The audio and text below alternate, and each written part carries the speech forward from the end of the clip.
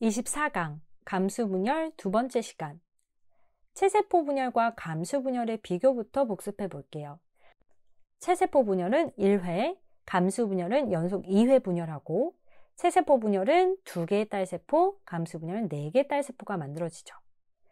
이가 염색체는 감수 분열의 전기원, 중기원에서만 관찰이 되고 염색체 수 변화는 체세포 분열에서는 없지만 감수 분열에서는 반으로 감소하죠. DNA형 변화도 마찬가지 체세포 분열에서는 변화가 없지만 감수 분열에서는 반으로 감소했습니다.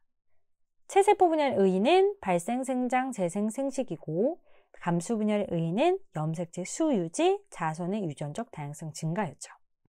그 다음 개념 플러스에서 핵상이 N이면 감수 2분열 중기고 핵상이 2N인 세포에서 이가 염색체가 관찰이 된다면 감수 1분열 중기 이가 염색체가 관찰되지 않고 염색체들이 일렬로 배열되어 있다면 체세포 분열 중기였죠.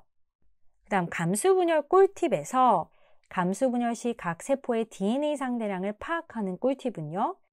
G1기 때 DNA 상대량이 2 또는 1 또는 0 G1기에서 중기 1으로 갈 때 DNA 상대량이 2배가 되므로 중기 1의 DNA 상대량은 4 또는 2 또는 0 중기 2의 DNA 상대량은 2 또는 0, 생식세포의 DNA 상대량은 1 또는 0이었습니다.